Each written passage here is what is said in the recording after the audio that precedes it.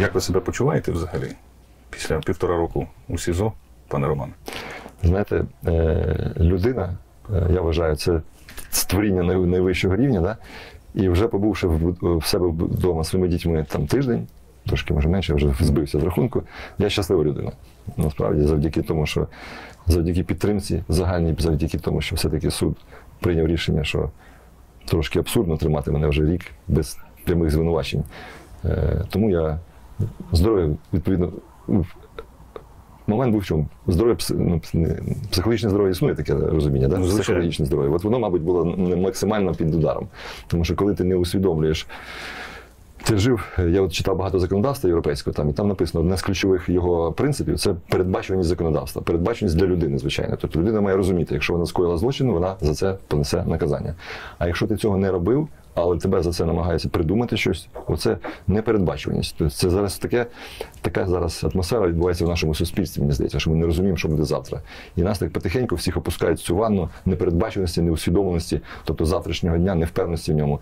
А коли тебе особисто ще, й- ще й звинувачують, де безпідставно. В мене є освіта спеціаліст юриспруденції, так, кримінального е, спрямування там іншого. Тобто я бачу, що це таке. Я розумію, я 20 років цим займався сам, документував злочини, розумію, як треба довести, е, скажімо, да, що людина має умисел на скоєння злочину, чи має мету злочинну. Я розумію, що я робив правильні речі, а вони просто перевертають і говорять, що це злочин. І тоді, тому в судах воно почало звучати вже абсурдно, коли ми почали звертати на це увагу, що Слідчий пише, що злочинною метою створив умови для передачі російського літака Україні. Ну, ви уявляєте, що це, якщо просто тверезо е, незаангажований е, спостерігач подивиться з боку на цю і послухає, він скаже, це російський суд чи це український суд? Ну, ви людина, яка взяла в руки в зброю Да. е, В перші дні, в тобто перші дні і пішла захищати батьківщину, і тут ось таке. Ну це можна зрозуміти, звичайно, психологічний стан це і непередбачуваність. Ось, да. І тому, тому я скажу, закінчу думку, не закінчу, повторюю ще раз, що зараз все добре. Е, Я, я вже втомився вам дякувати, але все одно ну, це завдяки тому, що суспільній увазі. Все-таки доведено, я зрозумів, що влада у нас належить народу, да, людям, увазі людській, а ті люди, які е, шахрайськими шляхами, якимись окрутенствами, такими ж намагаються щось е, зробити собі якісь позитивні іміджі і рейтинги, вони закінчуються. Це все для них закінчиться плачевно рано чи пізно. А для нас воно закінчиться позитивно. Як дружина і діти сприйняли? Ну, зрозуміло, що да, якщо не бачили батька стільки часу, все, ну, все дуже. Дружина до сих пір ще вона попала в такий інформаційно. Подієвий, тобто в них в неї стільки подій в житті відбувалося, таких, які вона раніше не переживала. Вона в них зайшла за цих півтора року, ну які два місяці чи три. Що вона до сих пір я її вже попросив відпочити, вона від'їхала і на відпочинок, то вона звідти вже координує мою діяльність. Вона пам'ятає, коли суди, комунікує зі всіма, хто мене підтримував, тому що підтримують люди переважно, знаєте, це не така, як тут нам закидали вчора провокації на суді. До речі, на смс приходив одному з волонтерів, каже: ну там в Фейсбуці вони викладають, хто фінансує цю, цю підтримку. Да? А приходять люди, які не фінансують, тому їм цікаво, коли суд, як треба туди з'явитися, коли, як підтримати. Вони там ідуть, вони собі запланували ці люди, вони вже навіть без мене. Тобто я вже на волі, вони все одно йдуть під американське посольство, хочуть піти е, по цю. Проблему цю засвітити далі. Ми кажемо, там суд в той же день. каже, ну встигнемо і туди піти, і туди. Тобто вона все це координує на сьогодні. На неї це все поклалося, всі до неї звертаються. Знаєте, я скажу чесно, що мені здається, що жінки вони відчувають по-іншому, трошки, ніж чоловіки. Ми більш прагмати. Да? Ми говоримо, діємо, за свої слова відповідаємо. Жінки вони е, дивляться в очі і відчувають. От я мені здається, якби не моя дружина не вірила мені, що я е, ну, ні в чому не винний і так далі, то ті е, жінки, переважно, які почали мене підтримувати спочатку, вони ж би побачили це все в ній, що вона намагається це все якось придумати там чи витягнути свого чоловіка злочинця. Саме це її віра в себе, в її справедливість, в те, що вона відстоює правильну справу, вона допомогла кругом неї зосередити, згрупувати таких людей, спільноту, саме таких, які вірять, і які розуміють, що треба підтримка цим військовим, яких можуть незаконно ось так просто взяти і звинувати, що у них кожного є свій там син, брат, е, чоловік чи там батько, який може попасти в таку ситуацію. І саме її віра мене мені здається спасла. Ну, ну, це був перший камінчик, який я зрозумів, що він впав в воду і пішли від нього круги, які вже мене далі перейшли вже в такі цунамі, які добралися. А діти щасливі. Тобто, в мене середня дочка вона почала носити мої футболки. Тобто, наскільки їй не вистачало батька, тобто. Менше, тобто вони перші дні вже дружина каже, вони не виходять на вулицю, нікуди не звали. Вони постійно були біля мене, ділилися цими емоціями. Ну, зрозуміло, якщо я от коли мене, мене забрали, мій син там був зросту там, метр шістдесят, зараз він метр вісімдесят. Тобто, я, ну, уявляєте, да, моя голова майже виросла. Це позитивні емоції, в той же час це, е, я вважаю, що це все буде добре, що син зрозуміє, чому мене не було. Він для себе дасть Щось питали діти. Ну, вони все знають. Вони бачать дружину кожен день. Питали тільки ну, такі побутові речі, знаєте, там. Ну, показували свою любов, да, показували, що вони потребують моєї любові. Це для них головне. Я вважаю, що це ну, заради цього ми це все робимо, заради цих дітей, які завтра мають ну, стати на наше місце і продовжувати в цю країну розбудовувати. Тому я вважаю, що. Що це ну вони надихають, скажімо. Все, що коли ми молоді чоловіки, ми надихаємося жінками, коли вже у нас є діти, ми надихаємося дітьми, їхніми здобутками, їхніми, скажімо, досягненнями, їхніми, навіть просто щоб він виріс е, на ну позитивною людиною з позитивними якостями, щоб він не були таких е, брехні цієї, що він що він цього не терпів, що він ну, міг показати своє нетерпіння до цього. Щоб, тому це і є. Я багато читав там, то е, успішні держави вони оцінюються, знаєте, є таке поняття, як соціальна довіра. Коли в суспільстві існує соціальна довіра, коли ти виходиш на вулицю, ти довіряєш тому, кого ти зустрінеш на вулиці, там довіряєш своїм державним органам, довіряєш е, своїм близьким, там незнайомій людині. Це і є функція держави створити цю соціальну довіру, створити в державі атмосферу ну, справедливості, атмосферу цього всього. Тобто я хочу, щоб. А ми не зможемо створити, поки ми не створимо це все всередині, в кожній своїй дитині, виховуємо правильно. І я думаю, що це наше завдання. І тому я я щасливий, що мої діти несуться в собі, вони орієнтуються на батька. І я думаю, що це головне, що нам потрібно. Що запам'яталося у СІЗО? Що найбільше згадується, і е, ну, після, після, скажімо, того, як ви звідти вас випустили, те, що, можливо, відчуття, які залишилися, з ким спілкувалися, там, якщо можна було спілкуватися, що читали, що дивилися? Е, ну, Ви потрапляєте в СІЗО. Тобто людина, яка ніколи цього не очікувала, ніколи на це не орієнтувалася, там. Там живуть, от уже якщо в СБУ я в СІЗО був, то там такі, знаєте, там сидять там Коломойський, Шуфрі, ще хтось, там такі люди більш-менш е, освічені і так далі. То вже в Кропивницькому там сидить вже вся весь спектр злочинності. Е, ну це переважно вони люди, які там рецидивісти це рецидивісти це більше 70, ну, біля 70%. Вони там живуть, образно кажучи, це їхній стиль життя.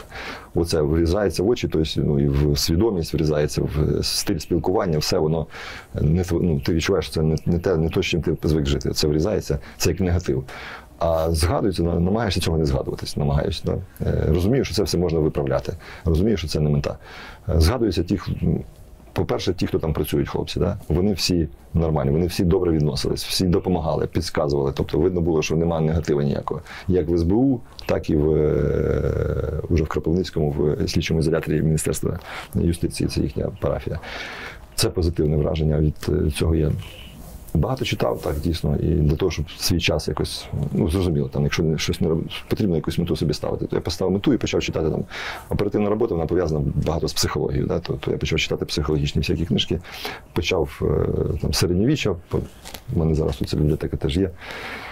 Я дивлюся, що книги українською мовою. Так, да, да, тільки українською. До речі, дуже прикро, що гарні книги, от коли ти читаєш книгу, там вниз йдуть ссылки на якісь інші гарні, скажімо, праці, да? і ти намагаєшся їх взяти. То от гарних праць 50% української немає. Російської є, є англійською. От в мене тут є англійською вже книги почав брати. От, от Руссо я взяв Еміль, Еміль е, англійською мовою, там е, інших е, психологічні такі ці книги там взагалі. Тобто навіть таке враження, що два світи. Тобто в них набагато вищий рівень освіченості, інші обговорюються питання вже і так далі. Е, тому все. А я ж кажу, коли я вже вийшов зараз, то, то згадується тільки позитивне і хочеться забрати тільки позитивне, що мені дали час. Що оперативна робота це робота така, коли ти постійно в русі щось робиш, а це дали можливість переусвідомити все, переосмислити, що таки, все-таки, що саме головне в житті. Да? Що саме головне це твоя дружина, мати, е, діти. А вже звідси від цих позитивних стосунків в твоїй сім'ї ти вже віддаєш ці стосунки і тим, кого ти знаєш, своїм друзям, знайомим, близьким, іншим там і несеш взагалі в суспільство цю цю енергію, скажімо. Да? І тому потрібно, я зрозумів, що потрібно починати з своєї свого маленького життя, тобто сімейного, і вже далі воно буде все позитивно. Тобто і намагаюся це все, тому що знаєте, дружина попала в такий цей круговерть, і вона дуже багато вона там сумніви, да? хтось не так щось сказав.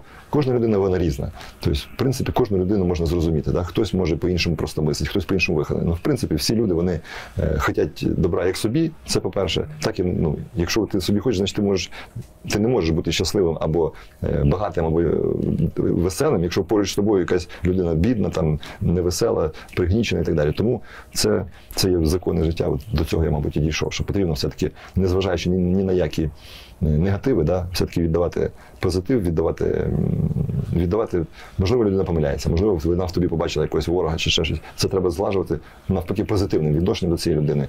І це перемали цю всю це негатив і буде все добре. От е, коли перебували в СІЗО е, і пішла реакція суспільства, е, наскільки, скажімо, змінилося ставлення от в самому СІЗО до вас? Ви відчули це? Не від, е, адміністрація не змінилася ставлення. Да? Хлопці, які там були, почали кардинально, вони вже почали висловлювати свої думки. Вони вже, якщо вони так. Спочатку вони просто думали кожен про себе, то потім вже всі, е, скажімо, між собою до мене вони всі розуміли, що вони вже питали, коли ж тебе випустять, що це за. Коли вони тим більше з'їздили. Е, Також це почало мінятися, коли вони мене інколи супроводжували на суди. Вони чули всі ці промови, вони чули обставини справи, все це розуміли, і вони кажуть, мене. Вони спочатку казали, ми не юристи, ми не розуміємо, в чому ж тебе звинувачують.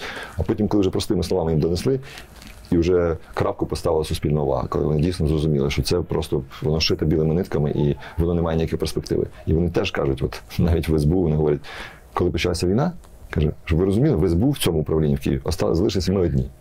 Нікого більше не було, ні офіцерів, нічого. Всі просто покинули свої е- місця і залишились. Тому вони поділяють цю історію, що вони підтримують тих людей, хто взяв зброю з перших днів в руки і хто пішов е, воювати. І тому вони вже під час війни- сформувалася така, е, мені здається, спільнота людей, які усвідомлюють, що Україна це одне і люди це одне. Влада може помилятися, це трошки інше, і можна критикувати владу, можна казати їм, що ось так, можна мати свою думку з цього приводу, да? що влада дійсно інколи помиляється. Ну, чим краще влада, тим менше вона помиляється. Чим гірше, тим більше вона помиляється. Тому тобто, ну, вже люди починають оживати. якось, Вже не бояться вони казати правду. Вже навіть там в мене в були спори з керівництвом там, з приводу моїх питань.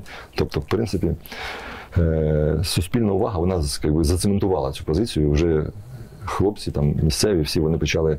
Чітко розуміти, що відбувається. Тобто, це четверта влада ваша, вона дала розуміння того, що все-таки якось нас А що дивилися? Що давали дивитися? Ну, там е, дивився тільки такі передачі, як е, там наукові передачі, там, знаєте, там про ну, мандри, про там про, е, про світ там океанів там чи ще щось. Ну і паралельно 100% дивився е, інформаційні канали, марафон. Тобто, ну я вже дорослий, я можу вичленити якусь інформацію, яка показує Про вашу справу, я так розумію, дуже мало було інформації. Не бачив, взагалі не бачив. Один раз я побачив тільки Михайла Бондаря, який виступав е, в суботу, здається, о 9 годині ранку чи о 8 на якісь, е, якісь там були дебати. Там були представники від партії е, влади, Слуги народу. Був Шабунін, був Бондар і був четвертий, я не пам'ятаю, хто теж якесь було на корупційне питання, коли якраз почалося питання з приводу фортифікаційних споруд. І от вони почали намагатися донести інформацію, що вони робили все, що могли, там партія влади. А Бондар задавав питання: добре, ви могли, у вас був час, ви адміністрували, але не, не вдало, виходить. Ну, і він згадав про мене про як зразок того, що е, держава. Використовує свою владу не, не з метою там, да, перемоги в війні, а образно кажучи, вона закриває якісь свої там побутові питання, емоційні питання, можливо, емоційне своє відношення когось до когось і намагається переслідувати. Тому Михайло Бондар, який відвідав дуже багато судів, який бачив на судах, як сплять судді, це мене постійно, це мене постійно це вражає. Да? І ми з ним сиділи, я кажу, Михайло, ти ви бачите? Він каже, я бачу, я не розумію, як це. Тому воно все неслося і. це, скажімо, ця проблематика вона тільки розширювалася, вона не, не, не згасала в інформаційному просторі, тому, е, тому, тому вона існувала. Більше в мене в голові, але в телебаченні там цього не було. От стосовно, коли ви відчули цю підтримку і суспільства, і людей, активістів, громадських активістів, політиків, які емоції це у вас викликало? Наскільки це- вас це, скажімо, підкріпило Знаєте, це внутрішньо? от коли ти попадаєш в темряву, да? заходиш в якийсь погріб чи якесь приміщення, де немає світла, і ти там намагаєшся просунутися кудись, вийти з цього приміщення. Тобто ти розумієш, ну це в мене в моїй ситуації це негатив. Да? Мене звинувачують безпідставно, я розумію, але ну, суддя не реагує, там слідчий не реагує. Слідчий тобі прямо каже, я знаю, що це політична справа, але я нічого не можу зробити. Там прокурор теж там в коридор виходить. А коли почалася ця підтримка, е, вона якось поступово ну, взагалі. Прийшли на перший суд, коли прийшли люди, мені вже легше стало. Знаєте, що вже є якась підтримка. В мене є історія, слава Богу, що е, люди підтримують. Але коли я побачив системну підтримку, перший, знаєте, такий, тобто, ну, людина це така, е, скажімо, створіння, коли вона завжди хоче кращого, більшого. Там, да. Коли люди підтримують, ти розумієш і ти борешся. Да? Я хочу цим людям, які приходять, я тебе віддячити і показати, що дійсно це сфальсифіковано. Тому я емоційно виступав. Я казав, подивіться, ось, ось. Я готувався до кожного засідання. І люди це усвідомили. Ті, хто ходили, вони одразу це зрозуміли. І потім, коли вже я думаю, що завдяки цій публічності, завдяки публічній увазі і політичних сил, там і депутатів, того ж Бондар, який приходив, е, Софія приходила до мене Федина, е, Іонова приходила до мене на один суд. Тобто я всіх пам'ятаю, Арію Володимир приходив брати на поруки. Потім.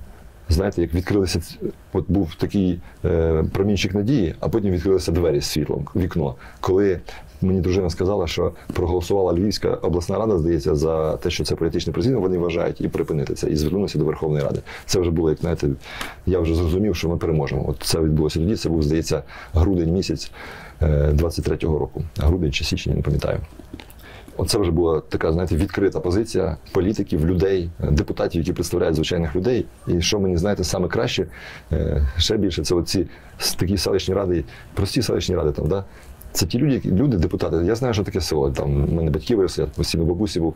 Це люди, які живуть, ну вони в спільноті живуть. Там ти не можеш говорити одне, а сусіду говорити друге. Тебе зразу там в цьому селищі, що ти станеш ізгоєм, можна кажучи. Тому ці люди, депутати, вони представляли думку саме цих простих людей. Я знаю, що ці саме ці люди відправляли своїх синів, дочок, чоловіків на війну, і що вони вже стають за мене. Це вже для мене було, знаєте, майже перемога, тому що навіть думаючи, що я вже знаєте, навіть змирився. От для того, щоб пережити ці стресові ситуацію в СІЗО, потрібно для себе зрозуміти. От твій твоя стаття передбачає 8 років ув'язнення.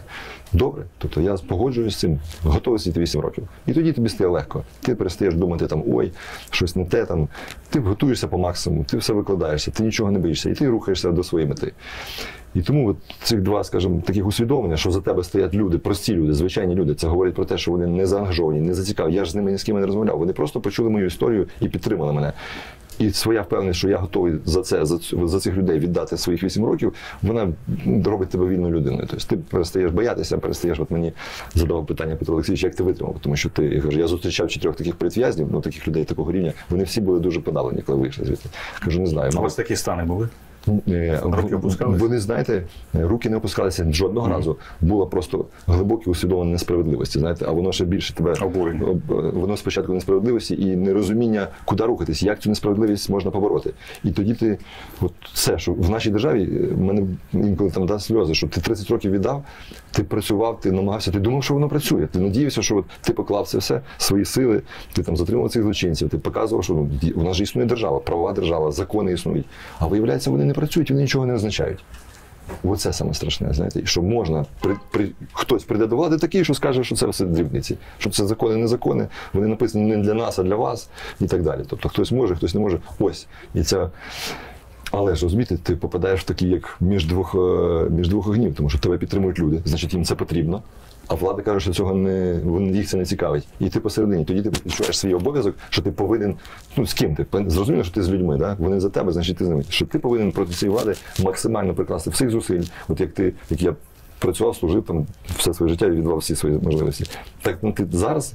Тебе це твій, твій фронт. Фактично. Я сприйняв це як мій, мою, моє таке завдання, я повинен його виконати. І все, я викладався по максимуму, тому руки не опускалися. Тому що я вважав це як е, свою, ну, свою роботу, фактично. Да? Тобто я, я вважав взагалі, що це продовження моєї вагнерівської операції. Тому що за неї я туди потрапив, за мою позицію, за, ну, за життєва позиція вже. Да? Тому ну, все, я прожив 30 років в, в роботі, образно кажучи. Да? Я віддав всі свої сили. Мене попросили піти на пенсію. Я пішов, все, я закінчив свій трудовий шлях для України, я вислужив все, що міг віддав. І тут в мене нагода продовжити це служіння, да, вже в такому вигляді, в такому. що Для мене це, знаєте, як е, ну, це позитивно. Тому що знаєте, кожен чоловік хоче максимум щось досягнути в житті. Для мене це був шанс. Тобто, в ітогі я перевернув, мабуть, це психологічно якось я перевернув для себе як можливість допомогти далі, допомагати нашому суспільству, собі в першу чергу, своїй сім'ї і тим, хто мене підтримує. Тому ну, отак, от якась конструкція вистроїлась в мене, і я по ній е, далі рухався. І, мабуть, це воно не, не дало мені можливості опустити руки і е, взагалі подумати, що ми програємо. От е, в цьому контексті хочеться зрозуміти також ну, ваші емоції, можливо, якийсь певний стан, думки, які ви от стосовно цієї справи вагнерівці. Да? Це ж е, е, спецоперація, спланована, розроблена, і тут вона зривається. Які перші думки? е, ну, зрозуміло, да, що не досяг мети, але е, коли ти розумієш, чому вона зірвалася, що відбулося, Мгм. тобто ти спокійно підходиш до цього питання і розумієш, що ну, як з цим боротися, і де причина. І це чергове перед тобою стоїть, скажімо, завдання, таке ж саме, як ці вагнерівці.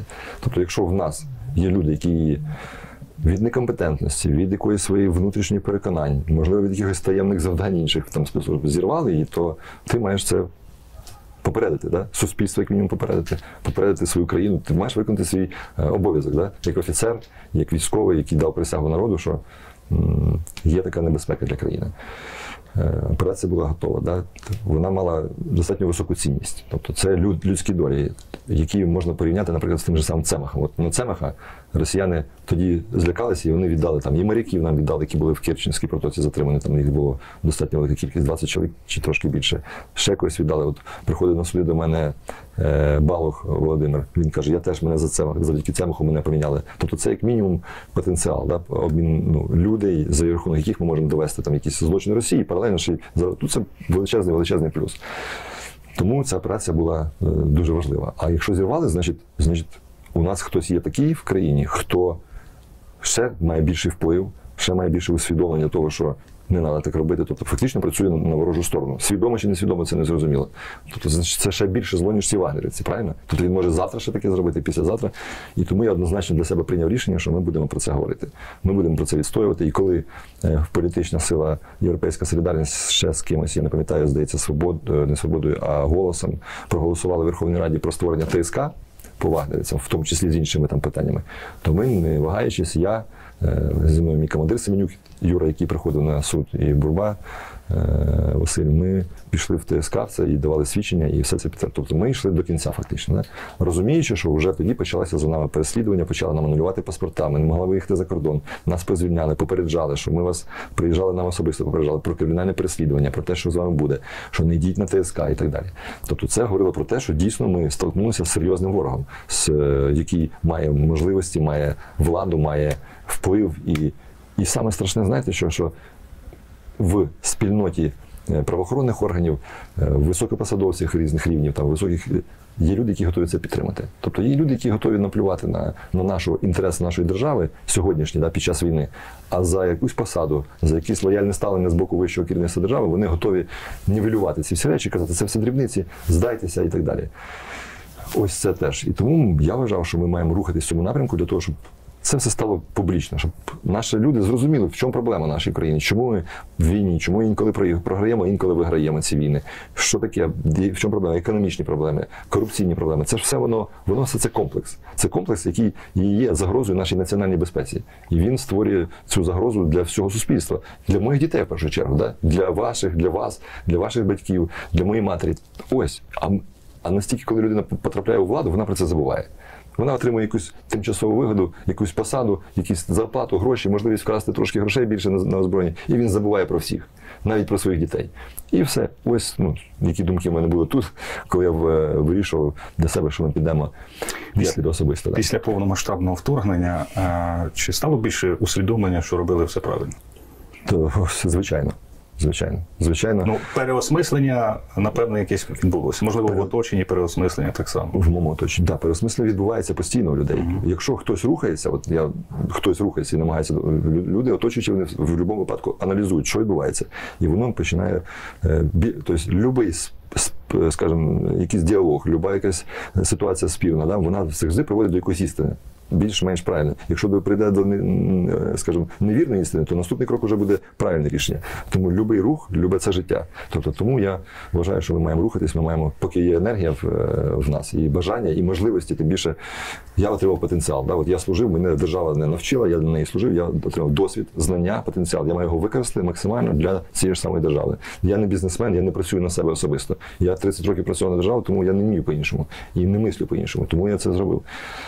Е, Повномасштабне вторгнення все це підтвердило просто. Все підтвердило. Яким ви стали після СІЗО, після всього цього? Е, Злішим, е, конкретнішим, більше уваги деталям е, приділяєте? Дивіться, я вважаю, що злішим ні в коєму разі не можна ставати, потрібно стати навпаки добрішим. Тому що, знаєте, от я там побув. Я розумію, що там можуть бути так само багато-багато других людей. Я стикнувся з такою проблемою.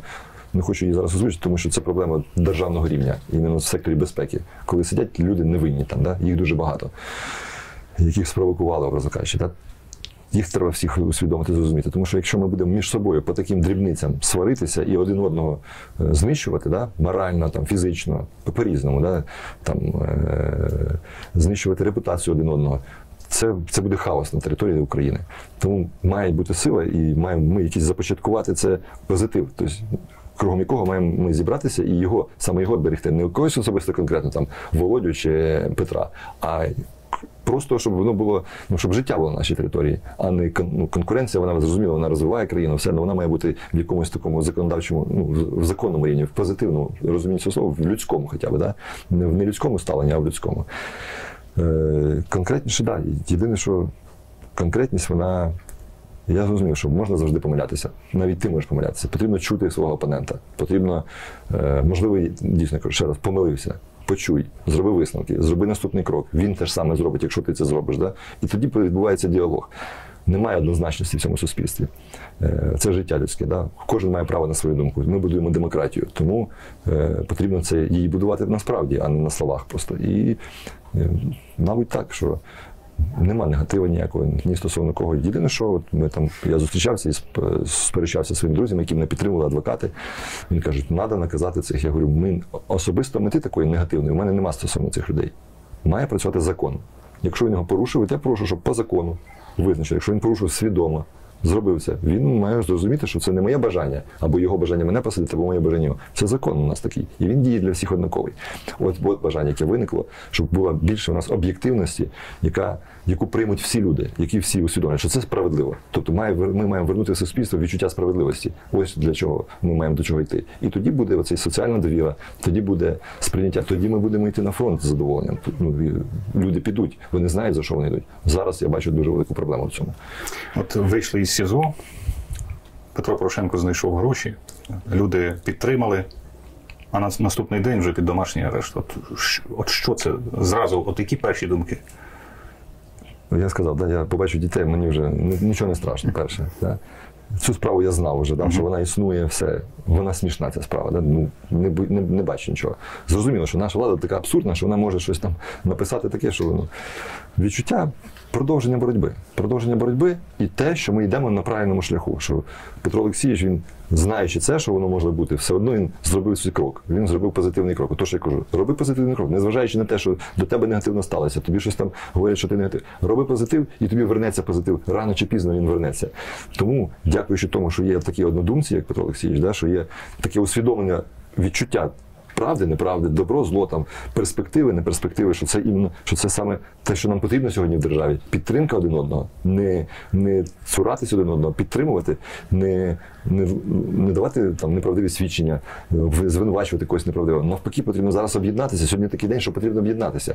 І саме тому я кажу, що роль цих людей, які починаючи з вагнерівської провал операції, тут зараз в Україні, це саме хаос, створити хаос в суспільстві, відчуття несправедливості, відчуття страху під час війни, відчуття е, перемоги ворога. Ну, вони це роблять не, ну, не відкрито, але це є агентура впливу. Агент впливу він не може відкрито е, агітувати за ворога. Він робить це всілякими своїми рішеннями, да? кадровими рішеннями, призначеннями, відношенням до військових, е, відношенням до тих людей, які на передовій стоять, їх е, виснажують там до упора, до кінця, потім забирають їх і вже от мені сьогодні дзвонили, та бригада, в яку я мав йти 109, куди вони нема, але я приїхав, там не було посади. Вже її не існує, її розформували.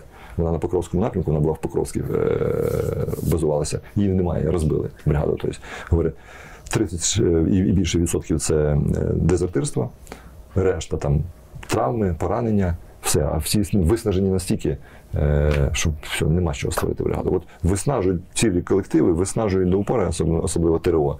Це ті, хто перші дні взяли зброю і пішли добровільно. Що це є такий потенціал, який треба навчати, і вони за, скажімо так, дуже вмотивовані ці люди. Вони будуть йти до кінця. Тільки використати їх з користю. Якщо людина йде до кінця, це корисна людина. А вони її використовують її бажання, але не використовують свій потенціал. Тобто, от, от тут все видно. Держава не використовує свій потенціал, свої можливості, не навчає, не обладнує, не озброює, не одягає, нічого не робить. Просто їде на, на, скажімо, на бажання людини, на його, на його впертості, на його бажання захистити країну, вони просто ви- виїжджає.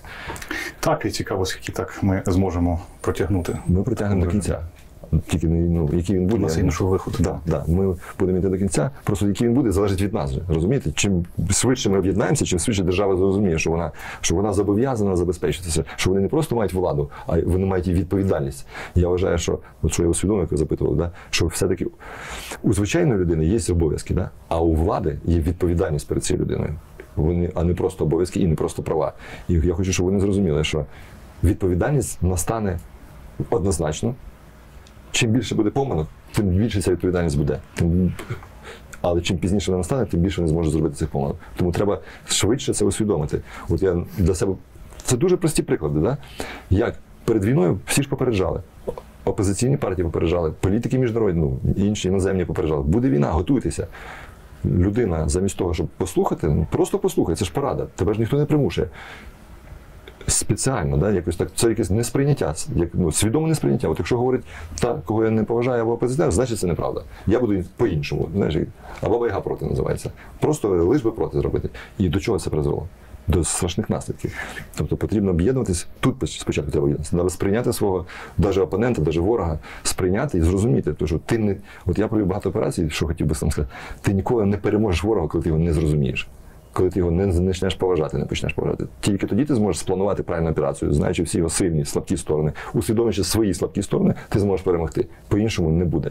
Тому це рано чи цей процес потрібно. Чим пізніше ми почнемо, тим більше ми втратимо людей, як ви кажете, тим більше ми втратимо території, втратимо економіки, втратимо тих, хто виїжджає за кордон, дітей, молодих, жінок. Це все веде до цього. І от я запитую, це свідомо чи це від некомпетентності? От зараз уже таке питання стоїть. Як? Як оцінити ці дії? Не хочемо, ну я не хочу їх критикувати. Ну, все-таки я військовий, я теж е, готовий був віддавати життя своє, коли в перші дні пішов. Ну, тому ми можемо, маємо право це запитати. Я вважаю, маємо. Кожен військовий має право. Дружина кожного військового має право запитати. Мене дивує, що на мої суди приїжджають, не дивує, а я розумію, що це таке. Приїжджають люди саме з тих територій, там Мелітополь, Харків, е, Буча. Саме ті, які попали, потрапили під цю непрофесійність, під цю байдужість, під цю або це умисні дії. От їх це бісить, вони несуться. А ті люди, які з цим не стикнулися, вони настільки гостро цього не відчувають. Ось чому маємо ще, ще раз об'єднатися суспільство, про це говорити, про це показувати, тому що якось воно навпаки розділяється. Нас лякають, нам показують по телебаченню, що там е, цивільний об'єкт розбомбили, там, там, там треба об'єднувати людей. Треба якось показувати навпаки нашу е, спільноту єдиним цілим, а не саме це, мабуть, є наша мета, і ваша мета, в тому числі в в засобі масової інформації. Не просто марафон, який вже перенасищує. Всі ж люди розумні. Коли ти толкаєш інформацію, яка вже не втолкується, людина починає щось підозрювати і починає вже її не сприймати. А це теж той ж саме недовіра. Це елемент недовіри, який сіється в суспільстві. То, що я казав, успішність суспільства вона оцінюється в соціальній довірі один до одного, а от її знищують. Хаос збільшується, довіра знищується, і, ну, і це можуть бути страшні наслідки для цієї держави. Я вам дуже дякую. Дякую, що знайшли змогу на цю бесіду. Знаєте, Пане е, Романе. дякую вам, тому що насправді, насправді ми робимо справу. Е, Ви так само робите, як я. І від вашої роботи, ну, я це просто окремий випадок. А ви робите з нього показовий окремий випадок і кажете, що таких випадків є багато, і що треба з цим якось щось робити. І тому я думаю, що тільки коли ми будемо один одному допомагати, буде результат і наслідок для позитиву, для перемоги тієї ж самої. І надію, що це об'єднає. Ваші дії об'єднають людей, незважаючи на різні світогляди, погляди один на одного і так далі.